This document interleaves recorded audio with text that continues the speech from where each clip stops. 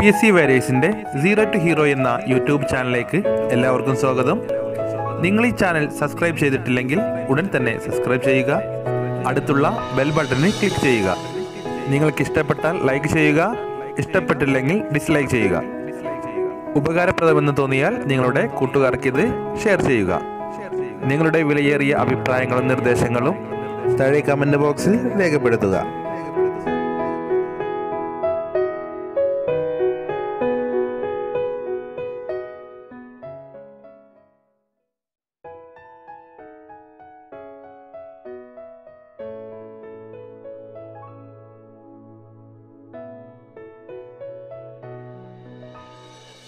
Question number twenty one none of my friends dash there none of my friends dash there option A have been option B had been option C was option D were ഇതിൽ correct answer none of my friends എന്റെ ഫ്രണ്ട്സുകളിൽ ആരും തന്നെ ഇല്ല.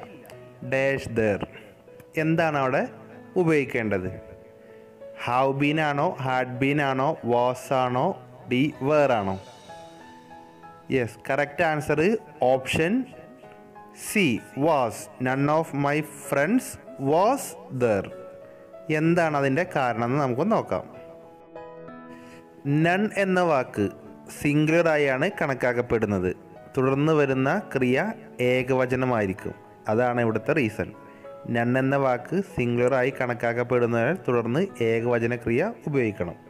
ഇവിടെ none of my friends was there was മാത്രമാണ് singular ആയിട്ടുള്ളത് okay അടുത്ത ചോദ്യം. The only one of these most intelligent students who dash under eighteen dash Peter option A is is option B are are option C are is option D is are ഏതാണ് correct answer the only one of these most intelligent students who dash under eighteen dash Peter correct answer ഏതാ? Yes option A is is the only one of these most intelligent students who is under eighteen is Peter എന്താണ് കാരണം? ഒരു ചെറിയ simple ആയിട്ടുള്ളൊരു reason ആണ്. നോക്കാം നമുക്ക് എന്താണ് സബ്ജക്റ്റ് പാർട്ടിൽ ദ ഓൺലി വൺ ഓഫ് വന്നാൽ റിലേറ്റീവ് പ്രോണൗണിന് ശേഷം സിംഗുലർ വെർബ് ഉപയോഗിച്ചാൽ മതി. രണ്ടാമത്തെ ക്രിയ വണ്ണിന്റെ ക്രിയ ആയതിനാൽ അവിടെയും എന്ത് മതി? ഏകവചന ക്രിയ മതി. മനസ്സിലായോ? അതായത് സബ്ജക്റ്റ് പാർട്ടിൽ ദ ഓൺലി വൺ ഓഫ് എന്നുണ്ട് അങ്ങനെ വന്നു കഴിഞ്ഞാൽ റിലേറ്റീവ് പ്രോണൗണിന് ശേഷം സിംഗുലർ വെർബ് ഉപയോഗിച്ചാൽ മതി. രണ്ടാമത്തെ ക്രിയ വണ്ണിന്റെ ക്രിയ ആയതിനാൽ അവിടെയും എന്ത് മതി? സിംഗുലർ വെർബ് മതി. ഓക്കെ അപ്പോൾ ഇവിടെ കറക്റ്റ് ആൻസർ ഓപ്ഷൻ എ ആണ്. ഈസ് ഈസ് അതായത് ഹൂ എന്ന റിലേറ്റീവ് പ്രോണൗണിന് ശേഷം സിംഗുലർ വെർബ് മതി. ഈസ് അണ്ടർ എയ്റ്റീൻ അത് കഴിഞ്ഞതിന് ശേഷം പീറ്റർ എന്നുള്ളതാണ് അവിടെ നമ്മൾ one of the most intelligent students സ്റ്റുഡൻസുകളിൽ ഏറ്റവും കൂടുതൽ ബുദ്ധിയുള്ള ഒരാൾ എന്നുള്ള അർത്ഥത്തിലാണ് പീറ്റർ. അപ്പോൾ അവിടെയും പീറ്ററിന് നമ്മൾ സിംഗുലർ വെർബ് യൂസ് ചെയ്താൽ മതി. അപ്പോൾ the only one of these most intelligent students who is under eighteen is Peter. Next ചോദ്യം നോക്കാം.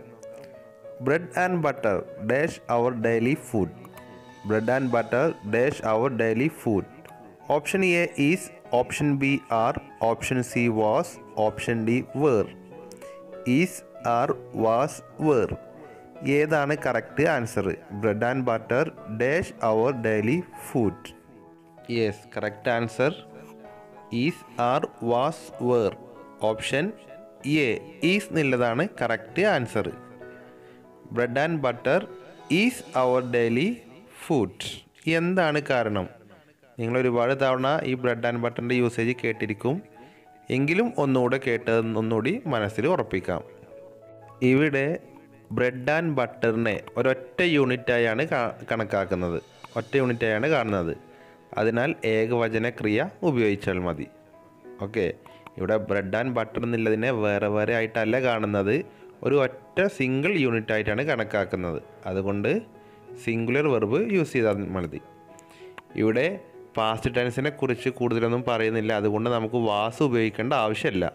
പാസ്റ്റ് ടെൻസിനെ സൂചിപ്പിക്കുന്ന ടൈം വേർഡ്സ് ഒന്നുമില്ല. ടൈമിംഗ് വേർഡ്സ് ഇല്ല. അതുകൊണ്ട് പാസ്റ്റ് ടെൻസിനെ സൂചിപ്പിക്കുന്നത് നമ്മൾ പാസ്റ്റ് ടെൻസ് വേണ്ടതില്ലേ? ഓക്കെ. അപ്പോൾ ഈസ് എന്നുള്ളതാണ് കറക്റ്റ് ആൻസർ. അടുത്ത ചോദ്യം നോക്കാം. Twenty four. The police dash investigating the murder. The police dash investigating the murder.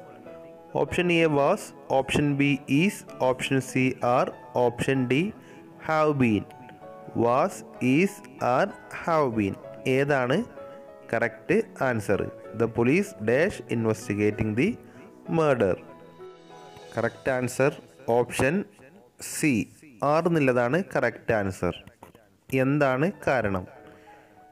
Police എന്നുള്ളതാണ് പോലീസ് കാഴ്ചയിൽ ഏകവചനമാണെങ്കിലും ഈ വാക്കിനെ നമ്മൾ ബഹുവചനമായാണ് കണക്കാക്കുന്നത്. അതിനാൽ ബഹുവചന ക്രിയയാണ് ഈ വാക്കിന് ശേഷം ഉപയോഗിക്കേണ്ടത്. ഇവിടെ ആറ് എന്നുള്ളതാണ് കറക്റ്റായിട്ട് സൂട്ടായിട്ട് വരുന്നത്. Okay.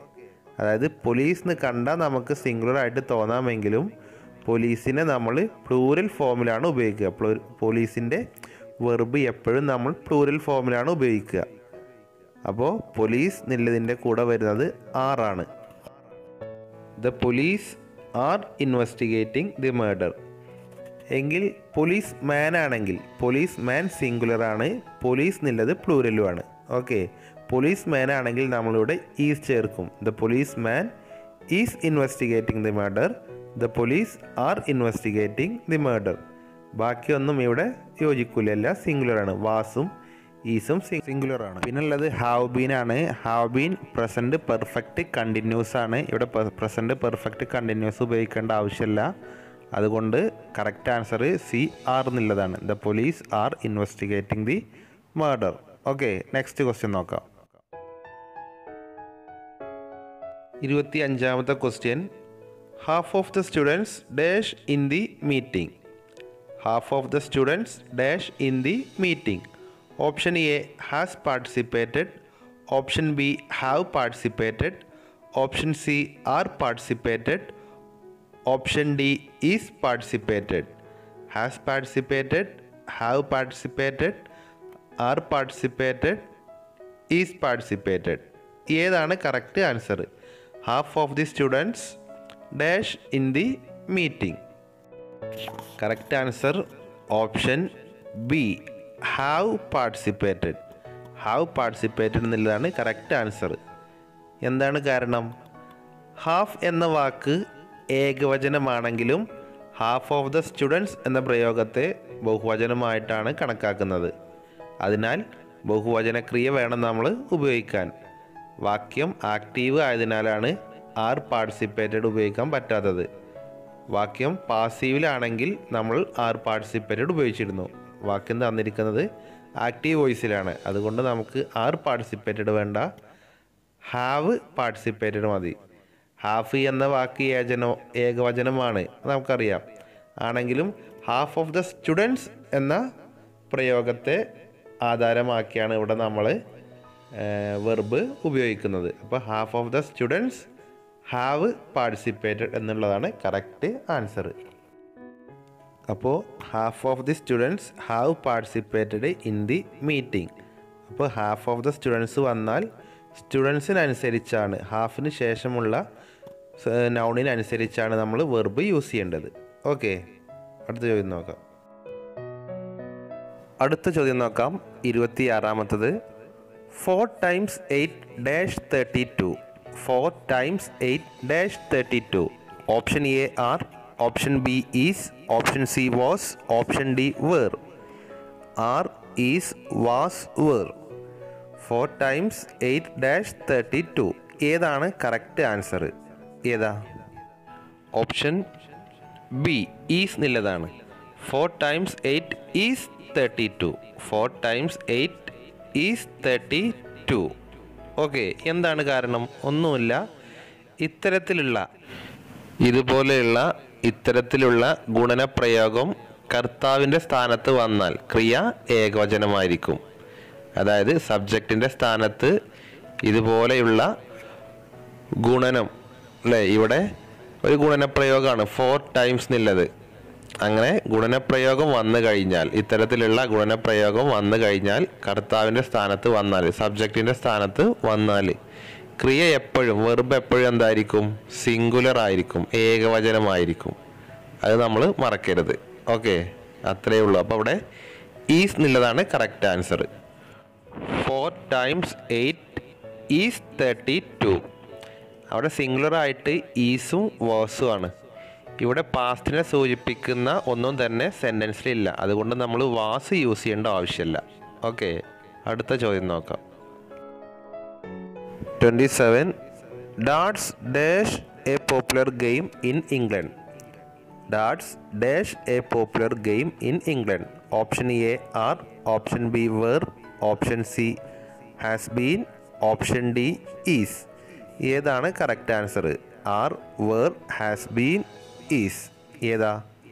Correct answer option D is is എന്നുള്ളതാണ് കറക്റ്റ് ആൻസർ എന്താണ് കാരണം? ഇവിടെ ഒരു കളിയുടെ പേരാണ് ഡാർട്സ് എന്നുള്ളത്. കളികളുടെ പേര് ബഹുവചന രൂപത്തിൽ വന്നാലും അതിന് നമ്മൾ ഏകവചനമായിട്ടാണ് കണക്കാക്കുക. അതിനാൽ തുടർന്ന് വരുന്ന വെർബ് ക്രിയ സിംഗുലർ ആയിരിക്കണം ഏകവചനമായിരിക്കണം. ഏത് കളിയാണെങ്കിലും ടെന്നീസ് അങ്ങനെ ക്രിക്കറ്റ് ഫുട്ബോൾ അതുപോലെ തന്നെ എസ്സിൽ അവസാനിക്കുന്നത്. നമുക്ക് പ്ലൂറലായിട്ട് തോന്നാമെങ്കിലും കളികളെല്ലാം നമ്മൾ സിംഗുലർ ആയിട്ടാണ് കണക്കാക്കുന്നത്. ഓക്കെ അപ്പോൾ നമ്മൾ തുടർന്ന് വരുന്ന വെർബ് സിംഗുലർ വെർബ് വേണം യൂസ് ചെയ്യാൻ. അപ്പോൾ ഇവിടെ darts is a popular game in England okay അടുത്ത ക്വസ്റ്റ്യനിലേക്ക് പോകാം. ഇരുപത്തിയെട്ട് every girl and every boy dash given a packet of chocolate every girl and every boy dash given a packet of chocolate option A were option B are option C was option D have. Were are was have. ഏതാണ് correct answer just ഒന്ന് guess ചെയ്ത് നോക്ക്. ഏതാണ്? Correct answer option C was. Was എന്നുള്ളതാണ് correct answer കാരണം ഒന്നുമില്ല സിമ്പിളാണ്. എവരിക്ക് ശേഷം വരുന്ന ക്രിയ എപ്പോഴും ഏകവചന ക്രിയ ആയിരിക്കും എവരിക്ക് ശേഷം വരുന്ന ക്രിയ സിംഗുലർ ആയിരിക്കും ഏകവചനായിരിക്കും. ഇവിടെ every girl and every boy ആണ് പറഞ്ഞിരിക്കുന്നത്. അപ്പോൾ വാസ് എന്നുള്ളതാണ് correct answer. Every girl and every boy was given a packet of chocolate. Yes നമുക്ക് അടുത്ത ക്വസ്റ്റ്യൻ നോക്കാം. Question number twenty nine. The number of people living in streets dash the number of people living in streets dash have reduced has reduced were reduced have been reduced have reduced has reduced were reduced have been reduced the number of people living in streets dash ഏതാണ് correct answer ഏതാണ്? Option B has reduced. Has reduced എന്നുള്ളതാണ് correct answer. എന്താണ് കാരണം കൂടി നോക്കാം. The number of plus plural noun സബ്ജക്റ്റായി വന്നാൽ തുടർന്ന് വരുന്ന ക്രിയ സിംഗുലർ ആയിരിക്കണം. എന്നാൽ a number of plural plus plural noun വന്നു കഴിഞ്ഞാൽ തുടർന്ന് ഉപയോഗിക്കേണ്ടത് പ്ലൂരൽ വെർബും ആയിരിക്കും. അപ്പോൾ ഇവിടുത്തെ answer has reduced. The number of people living in streets has reduced the number ഓഫിന് ശേഷം വന്ന പീപ്പിൾ എന്നുള്ളത് പ്ലൂറൽ നൗണാണ് അങ്ങനെ വരികയാണെങ്കിൽ ദ നമ്പർ ഓഫിന് ശേഷം പ്ലൂറൽ നൗണ് വരികയാണെങ്കിൽ തുടർന്ന് വരുന്ന വെർബ് സിംഗുലർ വെർബായിരിക്കും അപ്പോൾ ഹാസ് റെഡ്യൂസ്ഡ് ഇവിടെ ഹാസ് ആണ് സിംഗുലർ നേരെ മറിച്ച് a number of plus plural noun വന്നാൽ a number of plus plural noun വന്നാൽ തുടർന്ന് ഉപയോഗിക്കേണ്ടത് പ്ലൂറൽ വെർബും ആയിരിക്കും. നേരത്തിന് തൊട്ട് opposite the number of plural noun plus singular verb a number of plural noun plus plural verb ആ മാറ്റങ്ങൾ വരികയാണെങ്കിൽ. അടുത്ത ചോദ്യം മുപ്പതാമത്തെ question neither the teacher nor the students dares to use this book again neither the teacher nor the students days to use this book again option A has wanted option B wants option C want option D are wanted has wanted wants want are wanted ഏതാണ് correct answer ഏതാ? ഇത് നമ്മൾ ഒരുപാട് തവണ പഠിച്ചതാണ് നെയ്തറിന്റെ neither നോറിന്റെ usage എന്താണ് correct answer yes option C want want എന്നുള്ളതാണ് കറക്റ്റ് ആൻസർ എന്താണ് കാരണം കൂടി നോക്കാം. നമുക്കറിയാം നെയ്തർ നോറിന്റെ യൂസേജ് ആണ്. നെയ്തർ നോറ് കൊണ്ട് രണ്ട് നൗൺസിനെ യോജിപ്പിച്ചാൽ രണ്ട് സബ്ജക്റ്റിനെ യോജിപ്പിച്ചാൽ രണ്ടാമത്തെ നൗണിനെ അടിസ്ഥാനമാക്കിയാണ് ക്രിയ സിംഗുലർ ആണോ പ്ലൂരൽ ആണോ എന്ന് നിശ്ചയിക്കുന്നത്. അതായത് നെയ്തർ നോറ് കൊണ്ട് രണ്ട് നൗണിനെ കൂട്ടി യോജിപ്പിച്ചു. അപ്പോൾ രണ്ടാമത്തെ സബ്ജക്റ്റ് നോറിന് ശേഷമുള്ള സബ്ജക്റ്റിന് അല്ലെങ്കിൽ നൗണിന് അനുസരിച്ചാണ് സിംഗുലർ ആണോ പ്ലൂറൽ ആണോ എന്ന് തീരുമാനിക്കുന്നത്. ഇവിടെ നോറിന് ശേഷം ദ സ്റ്റുഡൻസ് എന്ന പ്ലൂറൽ നൗണാണ് നോർ ദ സ്റ്റുഡൻസ് എന്ന പ്ലൂറൽ സബ്ജക്റ്റായ പ്ലൂറൽ നൗണാണ് അപ്പം നമ്മൾ അവിടെ ഉപയോഗിക്കേണ്ടത് ഓപ്ഷൻ സി വാണ്ട് എന്നുള്ളതാണ്. Neither the teacher nor the students want to use this book again option C ആണ് വാണ്ട് കാരണം ദ സ്റ്റുഡൻസ് എന്നുള്ളത് പ്ലൂറൽ ഫോമാണ് neither nor either or not only but also or എന്നുള്ള പ്രയോഗങ്ങൾ യൂസേജ് രണ്ടാമത്തെ നൗണിനനുസരിച്ചാണ് നമ്മൾ singular ആണോ പ്ലൂറൽ ആണോ എന്ന് തീരുമാനിക്കുന്നത്. അപ്പോൾ ഇവിടെ കറക്റ്റ് ആൻസർ ഓപ്ഷൻ സി ആണ്. ഓക്കെ അപ്പോൾ നമ്മൾ മുപ്പത് ക്വസ്റ്റ്യൻ ചെയ്തു. ഇനിയും ഏതാണ്ട് ഒരു മുപ്പത് ക്വസ്റ്റ് ക്വസ്റ്റ്യനോളം ഈ ഭാഗത്തു നിന്നുള്ളതുണ്ട് അപ്പോൾ ഇതിന്റെ മുമ്പുള്ള രണ്ട് പാർട്ട് കൂടി കാണുക. ഒന്ന് മുതൽ പത്ത് വരെയും പതിനൊന്ന് മുതൽ ഇരുപത് വരെയുള്ള ക്വസ്റ്റ്യൻസ് കൂടി നിങ്ങളൊന്ന് ഈ ചാനലിൽ ഇട്ടിട്ടുണ്ട്. അതുകൂടി കണ്ടതിന് ശേഷം മാത്രം ഇത് കാണാൻ ശ്രമിക്കുക. നിങ്ങൾ ഈ ചാനൽ സബ്സ്ക്രൈബ് ചെയ്തിട്ടില്ലെങ്കിൽ ഉടൻ തന്നെ സബ്സ്ക്രൈബ് ചെയ്യുക. അടുത്തുള്ള ബെൽ ബട്ടണിൽ ക്ലിക്ക് ചെയ്യുക. നിങ്ങൾക്ക് ഇഷ്ടപ്പെട്ടാൽ ലൈക്ക് ചെയ്യുക. ഇഷ്ടപ്പെട്ടില്ലെങ്കിൽ ഡിസ്ലൈക്ക് ചെയ്യുക. ഉപകാരപ്രദമെന്ന് തോന്നിയാൽ നിങ്ങളുടെ കൂട്ടുകാർക്ക് ഇത് ഷെയർ ചെയ്യുക. നിങ്ങളുടെ വിലയേറിയ അഭിപ്രായങ്ങളും നിർദ്ദേശങ്ങളും താഴെ കമന്റ് ബോക്സിൽ രേഖപ്പെടുത്തുക.